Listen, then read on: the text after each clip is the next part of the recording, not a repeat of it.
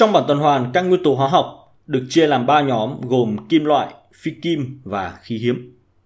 Trong đó, số lượng các nguyên tố kim loại chiếm tỷ lệ phần trăm là lớn nhất. Các nguyên tố nhóm A một phần là kim loại và ở nhóm B tất cả các nguyên tố đều là kim loại. Kim loại có đặc điểm là có ít electron ở lớp ngoài cùng. Thường nó chỉ có 1, 2 hoặc là 3 electron ở lớp ngoài cùng thôi. Thế thì cái electron ở lớp ngoài cùng là cái gì nhỉ? Nhắc lại kiến thức lớp 10 một chút nhá. Để xác định xem nguyên tử của một nguyên tố có bao nhiêu electron ở lớp ngoài cùng thì ta sẽ viết cấu hình electron. Quy tắc để viết cấu hình electron nó sẽ như sau. Đó là điền electron theo thứ tự từ mức năng lượng thấp đến mức năng lượng cao. Trong đó, các mức năng lượng từ thấp đến cao sẽ được sắp xếp như sau. Với phân lớp S, nó sẽ có tối đa 2 electron, phân lớp P có tối đa 6 electron và phân lớp D có tối đa 10 electron. Rồi, vào luôn ví dụ nhé. Ví dụ, thầy cho thằng sodium, thằng này ở ô số 11 nên nó sẽ có 11 electron. Bắt đầu viết cấu hình electron này. Trước tiên, ta viết một S. S có tối đa 2E, vậy thì cứ điền 2E vào. Xong một S rồi, rồi đến 2S. Ta cũng điền 2E vào 2S. Xong 2S rồi đến 2P. P có tối đa 6E, như vậy điền 6E vào 2P. Rồi đến 3S. Đang có bao nhiêu electron ở đây? 2 cộng 2 cộng 6 là 10E. Mà cái thằng sodium này nó có 11 electron. Vậy còn thiếu 1E nữa. Thiếu 1E này ta điền nốt vào 3S. Vậy thì đây là cấu hình electron của thằng sodium. 1S là lớp thứ nhất, 2S, 2P là lớp thứ hai và 3S là lớp thứ ba. Vậy thì thằng này nó có 1e ở lớp ngoài cùng. Và đây là mô hình nguyên tử của sodium. Các em thấy là cái thằng sodium này nó có 3 lớp electron tự ứng với cả 3 vòng. Lớp thứ nhất nó có 2E. Lớp thứ hai là cái vòng thứ hai đấy, nó có 8E và lớp thứ ba là lớp ngoài cùng, nó có 1E. Đúng không nhỉ? Rồi, tương tự này, các em hãy dừng video một chút đi và tự viết cấu hình electron của thằng nhôm và thằng calcium đi xem nào.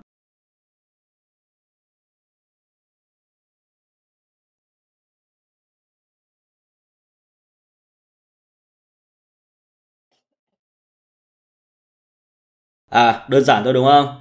Cấu hình electron của chúng lần lượt sẽ như sau.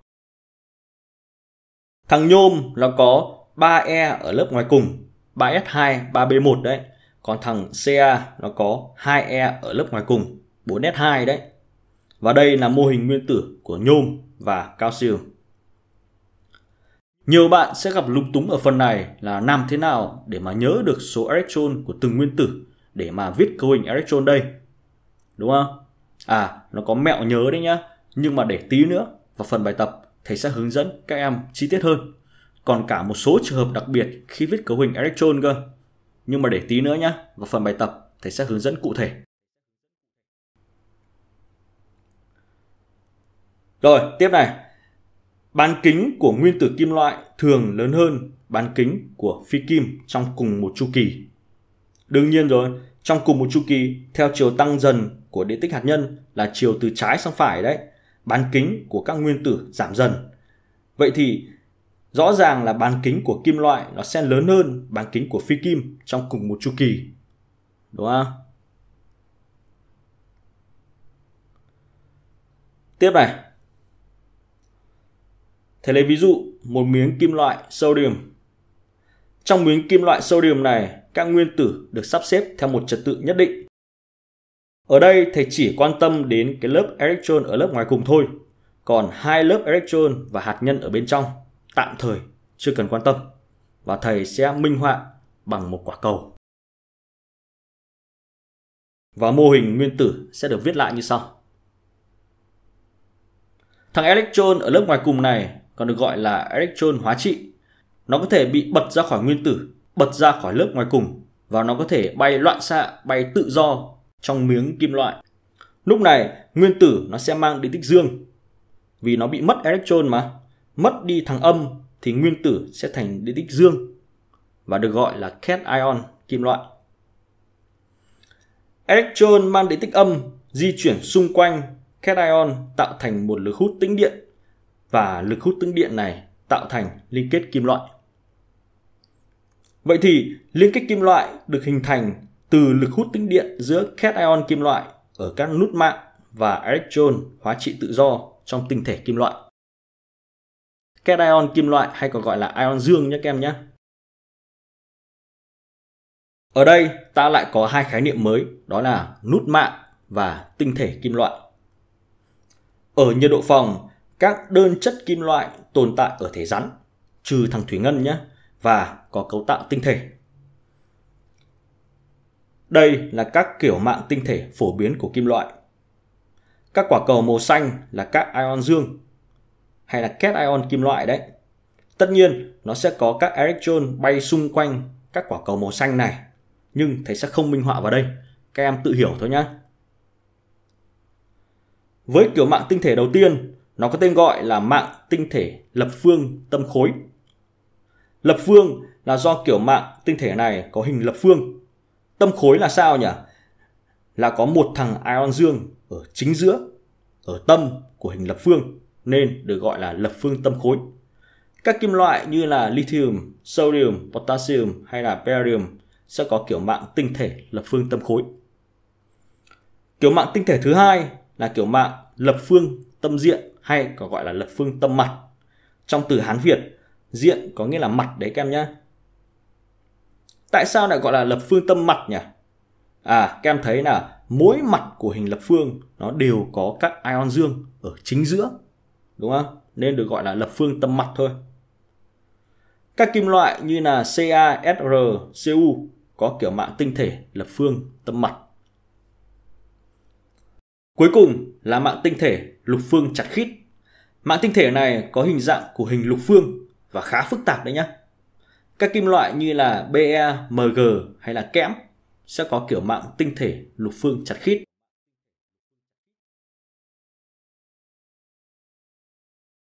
Ở bên trên thầy minh họa các ion dương và các electron nó đơn giản thế này thôi chứ thực tế là các ion dương nó phải được sắp xếp theo một trong ba kiểu mạng tinh thể phổ biến ở bên dưới này các em nhé. Và vị trí của các ion dương nó nằm ở các nút mạng của tinh thể. Có các electron chuyển động tự do xung quanh.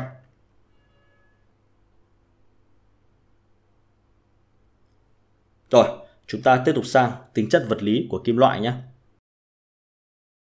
Ở điều kiện thường, các kim loại đều có tính dẻo, tính dẫn điện, tính dẫn nhiệt và tính ánh kim. Đây là bốn tính chất vật lý chung của tất cả các kim loại. Trước tiên, ta cùng tìm hiểu về tính dẻo trước nhé. Nhờ có tính dẻo mà kim loại nó dễ bị uốn cong, dễ rèn, dễ dắt mỏng và dễ kéo sợi. Các kim loại có tính dẻo cao như là vàng, bạc, nhôm, đồng, thiếc hay là sắt, vân vân. Trong đó thì vàng là kim loại có tính dẻo cao nhất. Kim loại có tính dẻo là do khi chịu tác dụng của ngoại lực, các ion dương trong mạng tinh thể kim loại có thể trượt lên nhau mà không bị tách rời nhau nhờ lực hút tĩnh điện giữa các ion dương và các electron.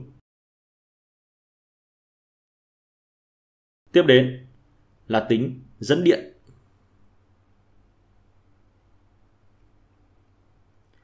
Khi đặt một hiệu điện thế vào hai đầu của thanh kim loại, dưới tác dụng của điện trường, các electron hóa trị đang chuyển động hỗn loạn, nó sẽ chuyển động thành dòng và có hướng từ âm sang dương và tạo thành dòng điện.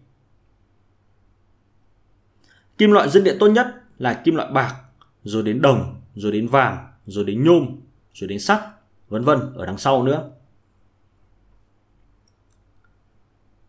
Tiếp đến là tính dẫn nhiệt.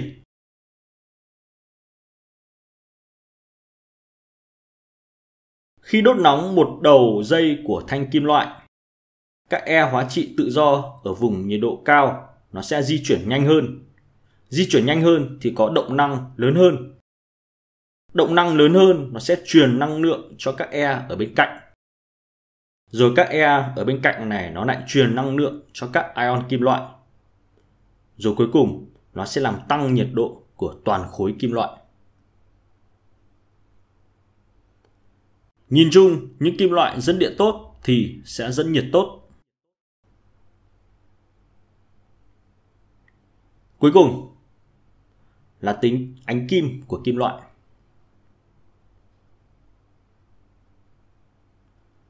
Khi chiếu sáng vào kim loại, các electron tự do trong tinh thể kim loại nó sẽ phản xạ hầu hết những tia sáng mà mắt con người nhìn thấy được. Do đó, kim loại có bề ngoài sáng lấp lánh, còn được gọi là ánh kim.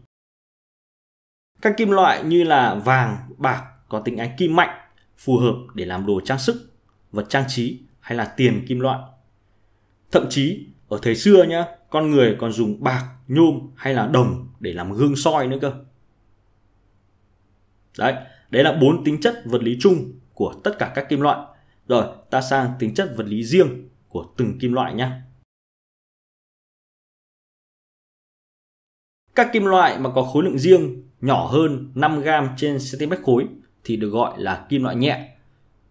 Ngược lại, những kim loại mà có khối lượng riêng lớn hơn 5 gram trên cm khối được gọi là kim loại nặng. Kim loại cứng nhất là thằng chromium, kim loại mềm nhất là những kim loại thuộc nhóm 1A, ví dụ như thằng lithium, sodium hay potassium. Trong đó, kim loại mềm nhất là cái thằng Cc, CS đấy. Kim loại dẻo nhất là thằng vàng. Kim loại dẫn điện tốt nhất là thằng bạc. Kim loại nặng nhất hay là khối lượng riêng lớn nhất là oxymi, còn kim loại nhẹ nhất là thằng lithium hay còn gọi là liti. Đấy, nghe tên đã thấy nhẹ rồi đúng không? Kim loại có nhiệt độ nóng chảy cao nhất là thằng Wolfram và kim loại có nhiệt độ nóng chảy thấp nhất là thủy ngân. Thủy ngân là chất lỏng ở điều kiện thường đấy. Rồi, như vậy phần lý thuyết của bài học ngày hôm nay sẽ dừng lại ở đây thôi. Chúng ta tiếp tục sang phần bài tập để củng cố kiến thức nhé. Rồi các em ơi, vào phần bài tập đây. À, file bài tập thầy vẫn để dưới phần mô tả đấy nhá. Tải về rồi làm trước đi. Rồi, cùng hướng lên màn hình xem thầy chữa bài này. Câu 1 cho các kim loại sau. Đấy, người ta cho một loạt các kim loại này. Mà người ta yêu cầu viết cấu hình electron của mỗi kim loại. Ừ. Đầu tiên thằng Na nhá. Đấy. Nhiều bạn sẽ hỏi thằng Na này nó có bao nhiêu electron để mà viết cấu hình đây. Ờ thì uh, cho các em một mẹo nhá. Một mẹo thôi. Cái mẹo này là cái tự thầy nghĩ ra nhá. Ngày xưa thầy đi học thời thầy còn học sinh ấy thầy còn là học sinh thầy nghĩ ra cái cách này thôi cách này nó không được mọi người công nhận đâu nhá nó không đúng đâu nhá nó chỉ đúng với một vài nguyên tố thôi từ số 1 đến số 20 thôi đấy còn những nguyên tố ở nhóm B thì không đúng đâu nhá nhưng mà vẫn dùng ngon được ví dụ này uh, số N bằng số E. À quên. Số P. Quên quên quên, quên. số P proton ấy bằng số E bằng M lớn trên 2 đấy. Sấp xỉ bằng m lớn trên 2 đấy ngày xưa thì thầy có cách cách nhớ như thế này. Nhớ nhá cách nhớ này là tự thầy hồi học sinh thầy nghĩ ra chứ không ai dạy thầy cũng không có sách nào cũng trên thế giới cũng không có người nào có cách này đâu nhá. Nên là cách này là cách sai nhé các bạn nhá. Nhưng mà nó vẫn rất hữu ích để mình nhớ. Rồi thì đây m lớn của na là bao nhiêu? M lớn của na bằng 23 đúng không? Thế 23 chia 2 bằng 11,5 đúng không? 11,5 thì mình lấy số nguyên. Ở uh, mình lấy số nguyên vậy số P và số E của thằng NA là 11 đấy cách nhớ của thầy ngày xưa là như thế nhá. Tất nhiên là nhiều bạn thắc mắc là thì dựa vào cơ sở nào để mà thầy có công thức như thế này? Hoặc là sao nó ra 11,5 mà thầy không lấy là 12 thầy đang nói với các bạn rồi cái này là nó sai về mặt kiến thức nhá. Nhưng mà đấy là ngày xưa thời học sinh thầy nhớ kiểu như vậy cho nó nhanh nhớ chưa? Đừng ai thắc mắc chỗ này nhá. Rồi các bạn có rất nhiều cách để nhớ. Không nhất thiết phải theo thầy đâu nhá. Rồi cấu hình này. Nó theo mức năng lượng là 1s 2s 2p 3s 3p 4s rồi đến 3d đúng không? Vân vân. Đấy viết đến ờ, 3d là nhiều lắm rồi. Chỉ cần nhớ thế thôi. Ờ, uh, na này. Đầu tiên 1s S. Có tối đa 2E 1S2, xong đến 2S 2 2B6 đúng không? 2 cộng 2 cộng 6 là 10E rồi mà thầy có 11E cơ. Vậy điền nốt 1E vào 3S1 đúng không? Thế MG thì sao? MG lại dùng cái này thôi. M lớn của MG là 24 đúng không nhỉ? 24 M lớn của MG là 24 đấy thì thế lệ 24 chia 2 bằng 12 đấy như vậy số E của MG là 12 đấy, ngày xưa thầy nhớ kiểu đấy. Rồi thế thì ờ, uh, xem thế nào đây? 1S2 2S2 2B6 và 3S2 đúng không? Rồi đến nhôm. Nhôm. M lớn của nhôm là bao nhiêu? M lớn của nhôm là 27 đúng không nhỉ? M lớn của nhôm là 27 27 chia 2 bằng 13,5 đấy như vậy nhôm là 13 đấy. 1S2 2S2 2B6 3S2 tổng bao nhiêu đây? 2 cộng 2 cộng 6 cộng 2 là 12 đúng không? Mà thầy có 13E cơ. Xong 3S thì đến 3B 3B còn một E nữa điền lốt một E vào đây. Đấy 3B1 nhá. Rồi tiếp này. Tiếp thằng K. Ờ M lớn của K bao nhiêu? Là 39 đúng không? 39 trên 2 là 19,5 như vậy là K là 19 đấy. Nó sẽ là 1S2 2S2 2B6 3S2 3B6 bao nhiêu đây?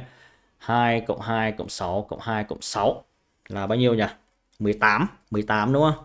18 mà thằng này có 19 e 19 e vậy còn một e nữa. Một e nữa thì kem chú ý nhá. 3P này, rồi sẽ đến 4S nhá các em nhá. 4S đấy 4S1 được chưa? Rồi, đến thằng sắt đi. Ờ thằng sắt này thì bây giờ sắt này thuộc nhóm B rồi. Nó lại không theo quy tắc này nữa, các em ạ. Thì lại bắt buộc mình phải nhớ thôi. Bắt buộc các em phải nhớ thôi, nhá nó không còn quy tắc gì để để mà nhớ ở các nguyên tố nhóm B nữa. Sắt là 26 đấy cố mà nhớ thôi nhá. 1S2 2S2 2B6 3S2 3B6 đấy xong rồi đến 3D đúng không? Nhưng mà 3D cứ để đấy nhá rồi đến 4S đúng chưa? Mình phải điền 4S trước xong 4 đây là phải điền 4S trước xong 4S rồi mới đến 3D đúng không? Rồi. Ờ, bao nhiêu đây? Ờ, uh, 4S2 đúng không? S của tối đa 2E mà. Bao nhiêu đây? 2 cộng 2 cộng 6 cộng 2 cộng 6 cộng 2 là 20 20 20 mà thằng này 26 như vậy điền nốt 6E vào D đúng không? Vì D nó có tối đa 10E mà.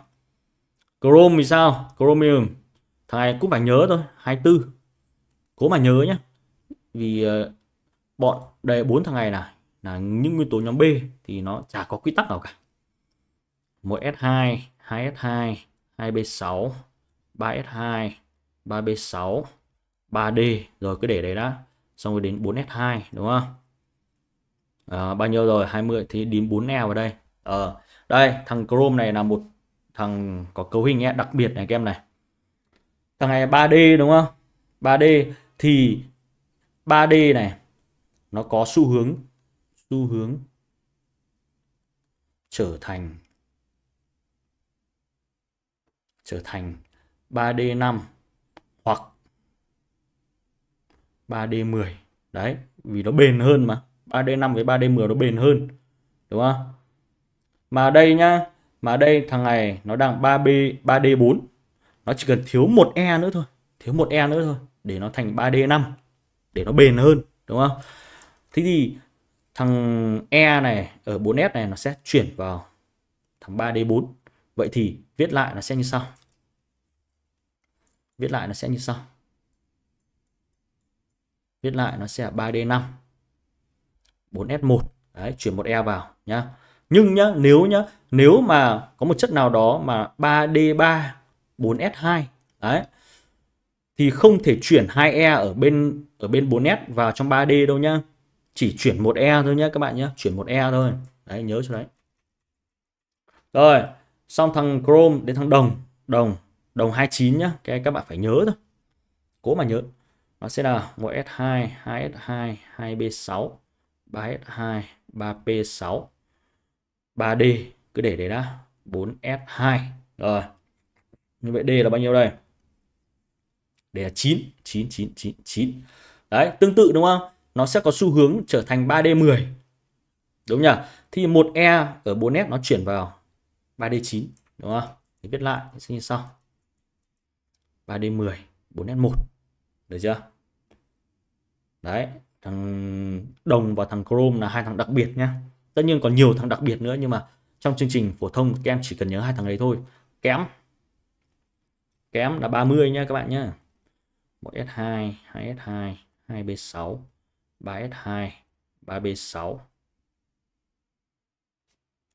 3B6 3D 4S2 đúng không? Bao nhiêu rồi? À 3D10 rồi, ok. Đấy, xong cấu hình nhá. Cấu hình nhá. Cấu hình đơn giản, đúng không? Nhắc lại lớp 10 thôi. Người ta bảo, câu B này, xác định E hóa trị của mỗi kim loại ờ, câu B là xác định E hóa trị của mỗi kim loại. Ờ dễ quá. Dễ quá dễ quá. Xóa đi nhá xóa này nhá. Thì thầy nhắc lại E hóa trị này. E hóa trị. Electron hóa trị đấy. Đối với đối với nhóm A. Nhóm A E hóa trị là E lớp ngoài cùng. Ngoài cùng. Đấy E lớp ngoài cùng. Còn đối với nhóm B đối với nhóm B E hóa trị là tổng E của phân lớp D và S ngoài cùng nhé các bạn nhé. Rồi, thế bây giờ nhiều bạn lại đặt câu hỏi là thì nhóm A là nhóm gì? Nhóm B là nhóm gì? Đúng không? Ờ, thế lại nhắc lại này, nhắc lại kiến thức lớp 10 nhá. Cái này quan trọng lắm đấy các em nhá các em nhá. Cái này sẽ dùng rất nhiều ở những bài sau đấy. Nên là các em cố mà học, cố mà nhớ này. Thế nhắc lại cho các bạn thì cố mà ghi nhớ nhá, đừng coi thường nhá. Ờ, nếu E cuối cùng điền vào phân lớp S hoặc P thì nguyên tử thuộc nhóm A. Đấy. Còn nếu mà cái E cuối cùng, các em ghi cái này vở đi. E cuối cùng điền vào chứ hơi xấu nhỉ điền vào con lớp D hoặc F thì nguyên tử thuộc nhóm B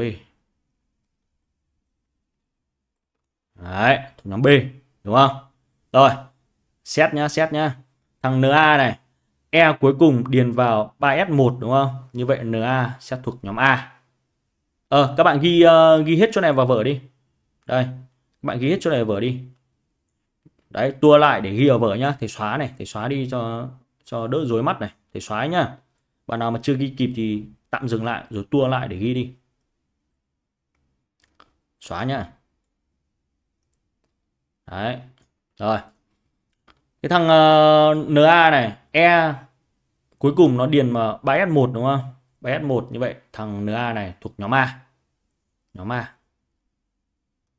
Nhóm A. Đấy. Thằng này cũng thế. MG 2E cuối cùng điền vào lớp F thì nó cũng thuộc nhóm A. Thằng nhôm E cuối cùng, điền vào phân lớp P, đúng không? Thì nó thuộc nhóm A. Thằng này cũng nhóm A. Còn thằng sắt thì sao? E cuối cùng nó điền vào đây này nó điền vào chỗ 3D nhé các bạn nhé mình viết 3D ở giữa, nhưng mà điền E cuối cùng ở phân lớp 3D nhé điền 4S trước, rồi mới điền 3D đúng không như vậy, điền E cuối cùng ở 3D ở phân lớp D thì thằng này thuộc nhóm B đấy thái cũng B thái cũng B và thái cũng B rồi E hóa trị là E lớp ngoài cùng của của của của uh, nhóm A đúng không như vậy Thằng NA có một E lớp ngoài cùng. Thằng này có một E hóa trị. Đúng chưa? MG, đây lớp ngoài cùng của nó đây. 2E hóa trị MG. Nhôm, đây lớp ngoài cùng của nhôm đây nhá. Đấy, nó là 2 cộng 1 là 3E đúng không? 3E hóa trị. Còn K lớp ngoài cùng đây. Đúng không? 1E hóa trị. Còn thằng ờ, uh, sắt sắt thì uh, nhóm B thì phải tính ở phân lớp 3D và 4F đúng không nhỉ? Đây. Đấy.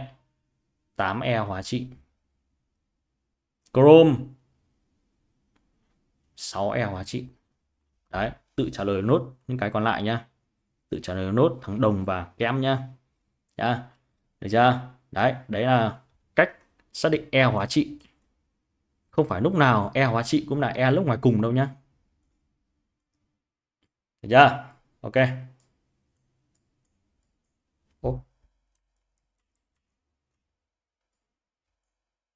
Xóa đi, xóa đi, xóa đi. Rồi, ok nhá. Ok nhá. Câu C, xác định vị trí trong bảng tuần hoàn của mỗi kim loại. Ừ. thì xóa cái này nhá, thì xóa cái E hóa trị đi nhá. Rồi, vị trí này, vị trí vị trí trong bảng tuần hoàn. Vị trí trong bảng tuần hoàn. Ờ thì nó vị trí trong một tuần hoàn là các em phải xác định nó ở chu kỳ mấy, nhóm mấy và ô thứ bao nhiêu nhá, và ô thứ bao nhiêu. Đấy là xác định vị trí trong một tuần hoàn. Được chưa? Rồi, uh, thứ nhất là ô này, ô số thứ tự của ô nó sẽ bằng số e. Thằng NA này có 11E như vậy nó ở ô số 11. Ô số 11 trong bảng tuần hoàn. Đấy các em nhìn bảng tuần hoàn và xem xem có đúng là thằng NA ở vị trí 11 không. Được chưa? Rồi chu kỳ chu kỳ là số lớp số lớp E. Nhóm nhóm nhóm nhóm nó nó thuộc E hóa trị. Được chưa? Được chưa? Rồi. à, xét luôn nhá, thằng NA này. NA à? nó có một E hóa trị đúng không? Nhóm nó sẽ bằng à, số E hóa trị đấy. Có một E hóa trị đúng không? Như vậy nó thuộc nhóm 1A. Có mấy lớp đây? Một lớp, hai lớp và ba lớp. Vậy chu kỳ 3. Chu kỳ 3. Nhớ nhá, nhóm số thứ tự nhóm là số La Mã, còn chu kỳ là số bình thường, đúng không? Ô thứ mấy đây? Ô thứ 11 đúng không? Ô 11. Đúng nhỉ? Thầy xóa này đi nhá. Xóa đi, xóa đi. Xóa đi, xóa đi, xóa đi. Rồi, còn ờ, uh, MG thì sao? Thằng này thì 2E hóa trị đúng không? 2A. Chu kỳ cũng chu kỳ 3, ô 12 đúng không? Thằng nhôm này. Đây, có 3E hóa trị, nhóm 3A. Vẫn chu kỳ 3 đúng không? Vì có 3 lớp mà, 1 2 3 lớp mà. O13 đúng không? Thằng uh, K có một E hóa trị thì nhóm 1A. Chu kỳ mấy đây? 1 2 3 và 4 nhá, 4 lớp nhá các em nhá. Chu kỳ 4. O19. Ờ, à, thế còn thằng sắt thì sao? Nó có 3, à quên nó có 6 cộng 2 là 8 E hóa trị đúng không? Như vậy nhóm 8A. À quên 8B chứ quên quên 8B. Đúng không? 8B. Chu kỳ mấy đây? Một lớp, hai lớp, ba lớp. Đúng không? Và 4 lớp, chu kỳ 4. O26, đúng không? Còn thằng nhóm 6B thôi. Chu kỳ 4, O26. Còn thằng ờ, à quên O24 chứ, 24. 24. Còn thằng đồng thì sao nhỉ? Đồng thì sao? Thằng này nhá, nó có 11E này của D và S đúng không? Nhưng mà nó không thể nào mà nhóm 11B đâu nhá. Trong bản tuần hoàn chỉ có nhóm từ 1A đến 8A và nhóm và nhóm 1B đến 8B thôi. Thằng này có tổng là 11. Như vậy người ta sẽ tính vào là nhóm 1B nhá các em nhá. Vẫn chu kỳ 4 thôi. O29. Thằng này cũng thế, tổng là 12 đúng không nhỉ? 12 nhưng không có nhóm 12B đâu nhá, chỉ là nhóm 2B thôi. Đấy, người ta tính theo kiểu đấy, quy ước theo kiểu đấy. hai chu kỳ 4 O30 đấy. Thầy ôn lại cách viết cấu hình E cho các bạn nhé. À, mấy bài nữa sẽ dùng rất nhiều về cấu hình E rồi cái đến ốc, ốc bị tăng nguyên tử các thứ đấy. Nhưng mà nếu mà các em nắm chắc ở phần này rồi thì các phần sau nó sẽ nhẹ nhàng thôi. Tiếp câu 2 đi. Câu 2 đi. Người ta cho các phát biểu sau về tinh thể kim loại M.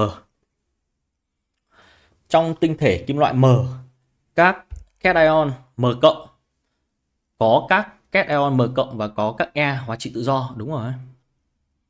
Trong tinh thể kim loại M có các E hóa trị tự do chuyển động đúng rồi. Cái thằng E uh, hóa trị nó bị bật ra ngoài và nó bay loạn xạ ở trong tinh thể đúng không? Còn thằng à, cation nó đứng yên các cation M MN cộng chuyển động tự do. Thầy vừa nói xong đúng không? Chuyển động tự do là tăng E. Lực hút giữa cation MN cộng và các E hóa trị tự do trong tinh thể kim loại phụ thuộc vào đốm điện của M. Không đúng. Phụ thuộc vào cái, cái điện tích của nó. Trong tinh thể kim loại M tinh thể kim loại M trung hòa với điện. Đúng rồi đúng không? Đúng nhỉ? Mặc dù nhá mặc dù à, viết là các cái vòng tròn dương này đúng không? Nhưng mà uh, nó có các e bay xung quanh nhá. Đấy chính bọn e và bọn dương này trung hòa với điện với nhau. Chứ không phải là thầy viết là cái ờ, vòng tròn có dấu cộng là nó mang dấu cộng hay dấu trừ đâu. Các em phải tự hiểu cho đấy nhá. Trong tinh thể kim loại M các M các kết MN cộng và E hóa trị tự do được phân bố theo trật tự nhất định không đúng đúng không? Thằng E này E hóa trị tự do nó bay linh tinh bay loạn xạ luôn đúng không nhỉ? Mấy ý đúng đây? Ba ý đúng. B. Có ba đây, có ba đây. Phát biểu nó sau đây về liên kết kim loại là đúng. Liên kết kim loại là liên kết được hình thành từ lực hút tĩnh điện giữa các cation kim loại và các electron tự do. Vì vậy, liên kết kim loại cũng chính là liên kết ion. Sai. Ion là ion, kim loại là kim loại chứ làm sao mà giống nhau được? Liên kết kim loại được hình thành do giữa các nguyên tử kim loại có sự dùng chung các e hóa trị tự do. Sai luôn rồi dùng chung kiểu gì? Đúng không? Nó lực hút tính điện của e hóa trị và à, cation mà. Liên kết kim loại là liên kết được hình thành từ lực hút tính điện giữa các cation kim loại và các e hóa trị tự do trong tinh thể kim loại đúng rồi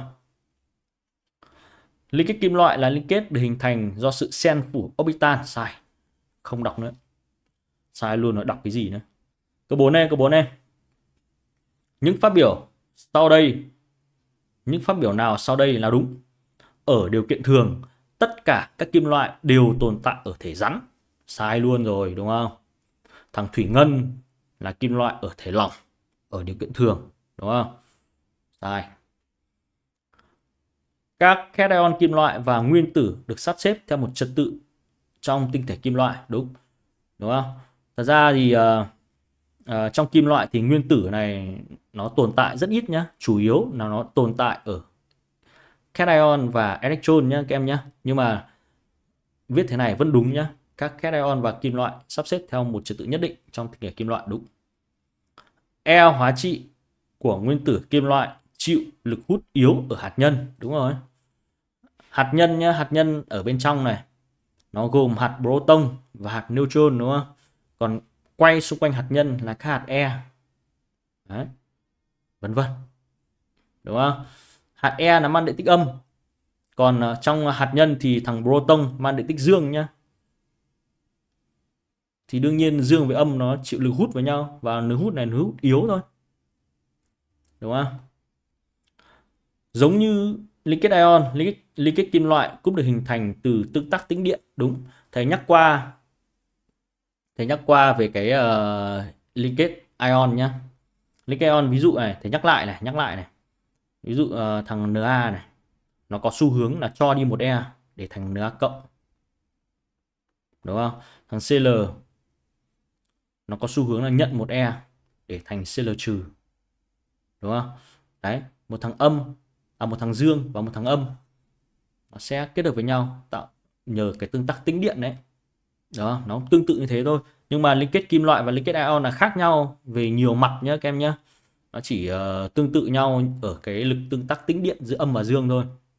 Được chưa? Nhắc lại kiến thức lớp 10 thôi.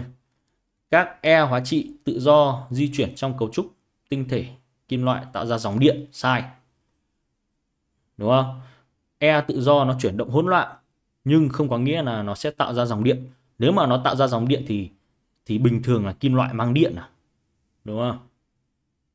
Câu 5 hình vẽ nào sau đây được sử dụng để mô tả cấu trúc tinh thể kim loại? Ừ. nó sẽ được sắp xếp theo một trật tự nhất định đúng không? Câu B không được nhá. Câu B vì đây này câu B nó có hai đầu này hai đầu ở các nút mạng này. Đấy hai đầu các nút mạng này nó là phân tử nhá, các em nhá. phân tử chứ nó không phải là kim loại đâu. CD đương nhiên không phải rồi. 6 trong định nghĩa về liên kết kim loại. Liên kết kim loại là liên kết được hình thành do lực hút tinh điện giữa các electron chấm chấm với các ion chấm chấm kim loại ở nút mạng. Ừ. điền từ các từ cần điền vào vị trí một hai lần là ừ. à, các e hóa trị tự do đúng không? Với các ion dương. Đúng không nhỉ? Tự do. Chưa? Câu 7 đi. Cho các phát biểu sau đây về vị trí và cấu tạo của kim loại. Hầu hết các kim loại chỉ có từ 1E đến 3E ở lớp ngoài cùng. Đúng. Cái định nghĩa nói rồi. Tất cả các nguyên tố nhóm B đều là kim loại. Đúng. Thầy cũng nói ở lý thuyết rồi, đúng không? Ở trạng thái rắn. Đơn chất kim loại có cấu tạo tinh thể. Đúng. Các kim loại đều có bán kính nhỏ hơn các phi kim cùng thuộc một chu kỳ. Sai đúng không? Trong một chu kỳ là theo hàng ngang này này. Thì kim loại phải có bán kính lớn hơn. Liên kết kim loại là liên kết được hình thành giữa nguyên tử và ion dương, giữa các nguyên tử và ion dương kim loại trong một tinh thể. Có sự tham gia của các E tự do. Đúng rồi, đúng rồi, đúng rồi, đúng rồi. Đúng không? 8 đi, 8 đi. Nguyên tử kim loại thường có 1, 2, 3 E ở lớp ngoài cùng. À, đúng rồi. Trong mặt tuần hoàn, các nguyên tố à trong mặt tuần hoàn các nhóm A bao gồm nguyên tố S và nguyên tố P. Đúng, đúng không? Đây này. À, quên, thầy xóa rồi. À, thầy nhắc lại với các bạn là nguyên tố S là gì? Nguyên tố s là cái E cuối cùng điền vào phân lớp S, còn nguyên tố P là E cuối cùng điền vào phân lớp P. Đúng không?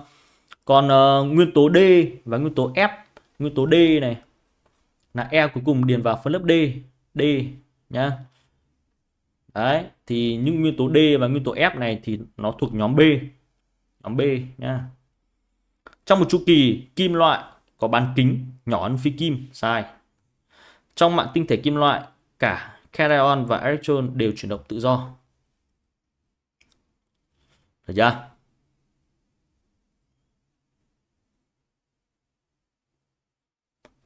Rồi tiếp đi các em ơi. Tiếp này, nhóm những kim loại có độ dẫn điện tốt nhất. À, độ dẫn điện tốt nhất. Đầu tiên là thằng bạc, xong đến đồng, xong đến vàng, xong đến nhôm đúng không? Đáp án A. Câu 10 này, dây chảy là một loại là một chi tiết trong cầu trì có tác dụng ngắt dòng điện khỏi thiết bị, bảo vệ thiết bị xảy ra sự cố làm tăng độ, tăng nhiệt độ.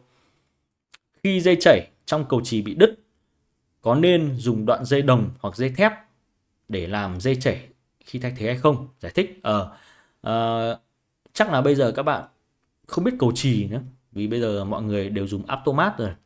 Cầu trì nhá các bạn nhé. Thật ra cái nguyên lý hoạt động của cái automat ấy, nó cũng tương tự như cái cầu trì thôi. Ngày xưa thì cầu trì quá phổ biến trong gia đình. Cầu trì này nó hoạt động thế nào? đây này trong cầu trì nhá có dây chảy này. Dây chảy của cầu trì nhá. Dây chảy của cầu trì làm bằng làm bằng trì bb đấy đúng không? Tại sao lại được làm bằng trì à, vì vì trì có nhiệt độ nóng chảy gọi là thấp thôi nhưng mà so với các chất khác là nó cũng khá cao đấy. Thấp này là thấp do với so với các kim loại khác thôi nhá. Thấp của nó khoảng nhiệt độ là thầy không nhớ lắm khoảng 300 bao nhiêu độ C gì đó. Khoảng hơn 300 độ C gì đó thầy không nhớ cái này lắm. Hoặc là dưới 300 gì đó thầy không nhớ đâu. Nhưng nói chung là thấp đúng không? Thế thì khi nhá khi mà ở trong gia đình trong gia đình mà sử dụng điện quá tải sử dụng điện quá tải tải thì sẽ làm dây nó bị nóng lên. Đúng không? Dây bị nóng lên. Dây nóng lên thì cái thằng ờ, uh, dây chảy này được làm bằng trì nó sẽ bị nóng chảy. Nó sẽ bị nóng chảy. Thì khi nó bị nóng chảy thì ngay lập tức điện của cả tòa nhà sẽ bị cắt cắt điện ngay để bảo vệ hệ thống điện. Đấy đấy mục đích của cầu trì là như vậy. Các em hiểu không? Thế tại sao người ta lại không làm dây chảy? Bằng đồng hoặc thép.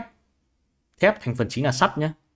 Vì đơn giản thôi, đồng và sắt này có nhiệt độ nóng chảy cao, đúng không?